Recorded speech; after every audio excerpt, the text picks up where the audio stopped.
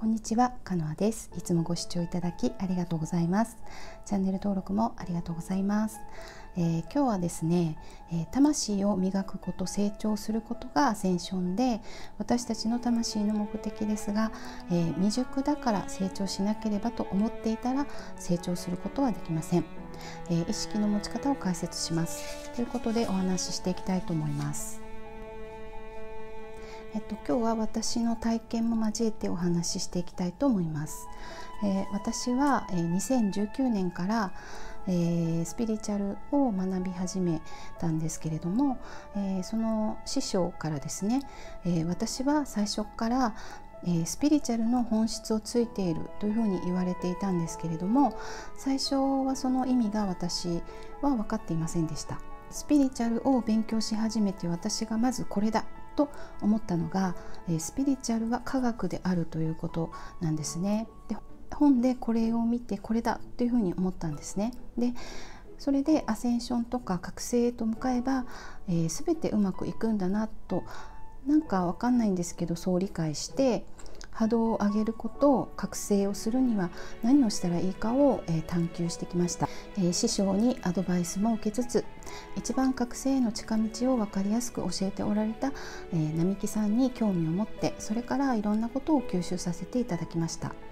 結果私の人生は激変し3年前には、えっと、私は恐れと不安がいっぱいで人が怖くていつも緊張していて人の陰に隠れて目立つことが嫌で自分のことが嫌いで自信がなくてだけど何もできなくていつも自分を責めていて、えー、生きづらい人生を送っていた私ですが、えー、スピリチュアルを勉強して波動を上げてきたことで今はえー、ブログを書いたり YouTube をしたり、えー、今カードリーディングを習っていまして今モニターさんを募集させていただいてたくさんの方々とオンラインですけれどもお会いしてリーディングさせていただくということをさせてもらっています。えー、3年前の私からは想像もつかなかった今なんですね本当に変わることができましたまだまだ私は進化の過程ですけれどもその中で自分がやってきたこと波動を上げる時の引っかかりポイントとか抑えるべきポイントなどシェアさせていただきたいと思って、発信させていただいてます。いつも私の YouTube を見ていただき本当にありがとうございます、えー、何もできなかった自分が嫌いだった私ですが波動を上げることで意識が変わり現実も様変わりしました。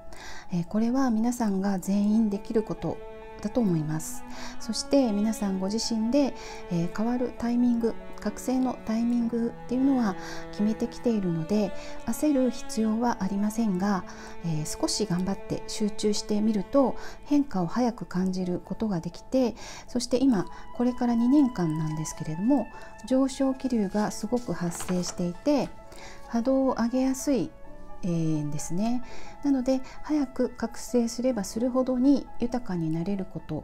それを私も実感しているので、えー、焦らず無理のない範囲ででも今からの2年間集中して波動を上げていけば、えー、本当に並木さんが常々言われている想像もできないすごく豊かな人生を歩んでいける、えー、その場所に立っているっていうふうに、えー、言われているところへ行けるのかなというふうに思います。でそこにチャレンジするのも楽しいことだと思いますし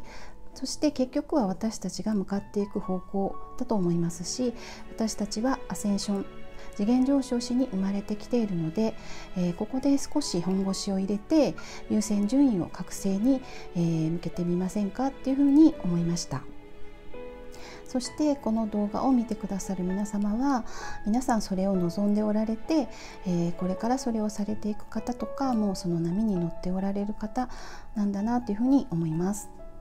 えー、源、えー、究極の宇宙意識とも言いますけれどもそこへ戻っていくことをアセンション覚醒というふうに言いますけれどもそれを常に意識して日々を生きるということを私はやっています。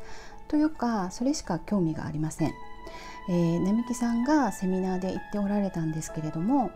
えー、覚醒を常に意識することでその究極の宇宙意識源に至る方向へ引っ張られることになるそうなんですね。で意識することで源と同調していこうという源と一致していこうという磁力を帯び始めてそれに引っ張られて導かれていくことになって、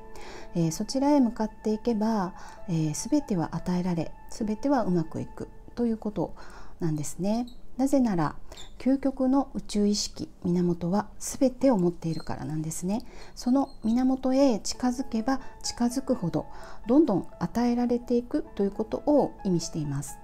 より豊かさに向かっていくのでそれは物質的な豊かさのみならず、えー、あなたが魂からこうしたいこうなりたいと思っていることもどんどんその道に沿っていけば具現化していきますもし源から逆走したりずれる道を歩いていったら人生はうまくいかなくなります。えー、なんでこんなこと起こるんだろうということが次々起こってきます。でもそれは、えー、ずれてますよと教えてくれてるということなんですね。今あなたの人生で辛いとか苦しいとか思い通りにいかないというならえー、私は人類が向かっていく方向性に合致しているのかということをチェックしてみるといいと言われていました。軌道修正すると途端に人生が開けていく体験をし始める。ラッキーということが立て続けに起こってみたりシンクロが導かれるように謎謎解きみたいに道が敷かれているように、えー、用意されているような体験をするそうです。スムーズさ簡単さうまくいっていると感じる時は、えー、ゴールに向けて進行していてうまくいかないとか感じがする辛い時はゴールから離れていっているというふうにナビになっている。ということなので、え辛いことは嘆くことではなく何を軌道修正すればいいかと向き合うことが大切ですというふうに言っておられました。並木さんがよく言われている最高の人生のストーリー、えー、というのは、えーゴールの宇宙意識への融合の手前の出来事でしかない、えと言われていて本当はあなたは最高の人生のストーリーを生きたいわけじゃない。人類は最高に幸せになりたいわけでもない。究極の宇宙意識に融合したい。これが魂の深いところでの望みだそうです。ここにフォーカスを当てていくとそこと引き合いが始まりそこへまっすぐに導かれていく。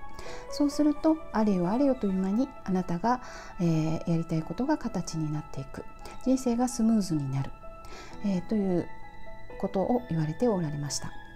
えー、源っていうのは全てを持っていて欠けてるものがないんですね。発展拡大の意識そのものです。発展拡大していくっていうのは欠けているからではなく今完全完璧である状態から別の完全完璧である状態へとシフトするということだそうです。成長が足りないから何かが欠けているから成長していこうということではなく分離の意識から見ると今未熟だから成功していこうとしてしまいます。でも自分のことを未熟だと捉えている限りその人に成長はありません。あなたが意識を向けたものをあなたは色濃く体験するんです。私たちの意識は意識を向けたものを拡大させる作用を持っています。あなたが未熟だから成長したい。欠けてるから変化したいと思った時欠けている未熟に焦点が合っているのでずっと未熟さを体験し続ける。ずっと欠けているを体験し続けることになります。と並木さんは言っておられました。ここがちょっと意識のトリックというか意識のトリックになると思うんですね。なので常にどういう意識からそこに向かっているのかっていうのをチェックするのが、えー、大事だなというふうに思います、えー、例えば豊かになりたい。お金の、えー、ブロックを外したいとか思った時にですねお金がないだからワークをして豊かになろうと思ってもないからやろうとするとやっぱりないとか欠けた不足の意識でやってもお金は入ってこないんですね。なぜかというと私たちの内側の繁栄が外に出てくるからなので、えっと、そういう時は一旦お金のブロックを外す外そう外そうと意気込むことから離れてみて不足の意識を満たすことから、えー、始めたらいいのかなというふうに思います、えー、それは日常の小さなことでよくて例えば、えー、お子さんがいるえ主婦の方だとしたら、えー、やりたいけどお金がかかる。自分がやりたいことがあってでもお金がかかるとします。でこのお金を、えー、例えば子どもの教育とかに使える。だから私は我慢しよう。と自分のやりたいことに使わなかったとします。でもそれは子供のためだからそれでいいんだっていうふうに納得させたとします。それを一つでも、えー、少しでも自分のやりたい方へ回してみる、えー、ということなんですね。例えばあの習い事がもしも子供が嫌がっているとします。嫌がっているのに子供のためだと思って習い事をさせたとしていたらそれって本当に子供のためなのか？とか無理やりやらせて本当に意味があるんだろうか？と考えてみる、えー、ですね。これから変わっていく時代に古い時代の価値観に私が縛られていないか？えー、子供が辞めたいなら習い事を辞めて、うん、子供がのびのびと自分のやりたいことをできる時間を作ってあげたらいいのかなっていうふうにあのもし気持ちを切り替えることができたとしたらその習い事のお金を自分のことに使えるかもしれません。それは一例なんですけれどもあのそうやって少しずつ世間の常識とか世間の枠の概念から抜けてみて、えー、みんなが望むこと、えー、それにあの意識をフォーカスしていくことで家族の関係も良くなったり自分も満たされる、え、そういうことをえーと、繰り返していってみるとあの満たされた感覚っていうのがつかめてくるんですね。するとその波動が出て満たされる出来事を映し出していくっていうのは自然なことだと思います。例えば並木さんが言われている「恋したわよ」に従っているけれど、えー、自分のやりたいことを、えー、しっくりくることが見つからないいつになったら見つかるんだろうって思ったとします。えー、そういうそれも同じでいつになったら見つかるんだろうであのまずと今しっくりくることがないと思っているから形を見つけようとして、えー、こういうことをしたらしっくりくるんだろうかこの仕事に就いたらしっくりくるんだろうかって思ってしまうというのは今しっくりきてないからっていうことの表れなんですね。でしっくりきてないところからのスタートなのでそれを具現化していつまでもしっくりこない。外に探すということを体験し続けることになるんですね。3次元ではこういうことがあってこういう思いを感じるという構図ができているんですね。最初はそれを使ってもいいのでしっくり感覚を得るために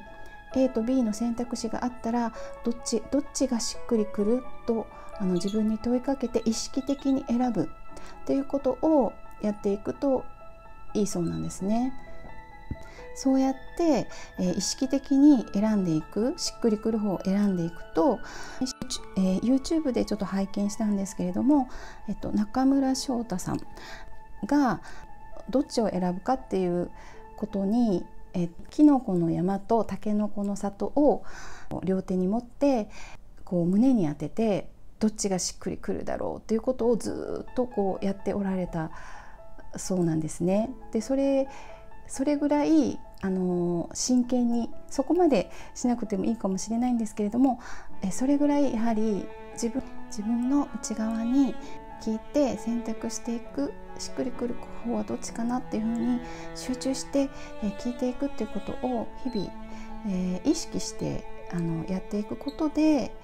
えー、自分の中のしっくり感喜びの感覚が共鳴して増幅してきて、えー、しっくりした感覚が分かるようになってきて、えー、すぐに選べるようになったりこれで良かったと思えて自分の道選択に自信がこれで良かったと思えて自信がついてくる。でこの時に、えー、自分と深くつながっているのでそうなった時に私の魂は何を望んでいると問いかけると急にインスピレーションが湧いてきたりするっていうふうにあのするそうです。以上であの並木さんのお話は終わりになりますけれども、えー、私たちは何かをする時に自分の中で、えー、これができた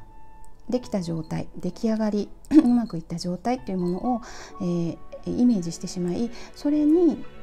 なっていなかったらできてないと思ってしまったり、えー、ないから努力して得よう欠けてるから何とかしようという意識からやってしまいがちなんですけれどももともとあるっていうところにフォーカスするためにですね日々自分を満たしていくことが本当に重要かなと思いました。